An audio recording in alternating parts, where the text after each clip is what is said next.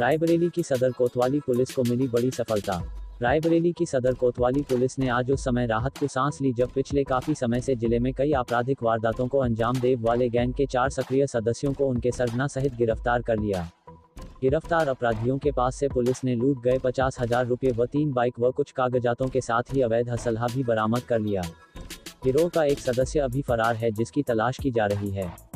खाकी की निगहबानी में मौजूद ये चारों युवक विक्रम, कुलदीप, नौशाद व राकेश है जो शातिर किस्म के अपराधी है और ज़िले में लगातार सक्रिय है और आपराधिक वारदातों को अंजाम दे रहे थे। पुलिस इनकी लगातार तलाश कर रही थी, लेकिन ये लगातार उन्हें चकमा दे रहे थे।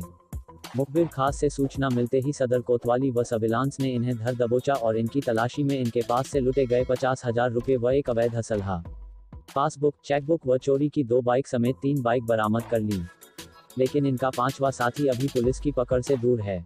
पुलिस अधीक्षक स्वप्निल ममगाई ने बताया कि इन लोगों ने ज़िले के कई थाना क्षेत्रों में छह वारदातों को अंजाम दिया है और ये लगातार गिरोह बनाकर वारदातों को अंजाम देते थे। इनका आपराधिक इतिहास भी है। इनका एक साथी फरार है, जिसे जल्द ही गिरफ़्तार कर लिया जाएगा। ये आपका अच्छा प्रश्न है और इसमें मैं बताना चाहूँगा कि हमने दो प्रमुख बिंदुओं पे हम लोग काम कर रहे थे। जब ये घटनाएँ हुई, जनवरी, फरवरी की ज़्यादातर घटनाएँ हैं तो हमने घटना स्थलों जो जो ये घटनाएँ हुई, उन सब घटना स्थल से हमने सर्विलेंस का वीटीएस उठाया और हमारा को शक था कि एक ही गैंग द्वारा किया गया कि घटना करने का तरीका एक सा था। उसमें हमें कुछ नंबर मिले, एक से एक से दो हमें नंबर कॉमन मिले और उनसे संपर्क में जो नंबर है वो मिले।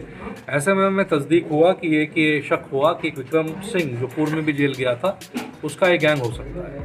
तो हम इसको लगातार ट्रेस कर रहे थे सर्विलेंस के माध्यम से।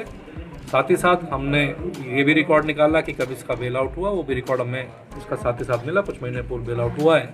और इससे पूर्व की ये कोई और घटना कारित कर पाता, हमारी सर्विलेंस टीम ने उसका कॉल पकड़ लिया और उसके आधार पर घेराबंदी करते हुए मौके से इसको पकड़ा, इसके निशानदेही पे अन्य सदस्यों को हम लोग पकड़ते चले। गए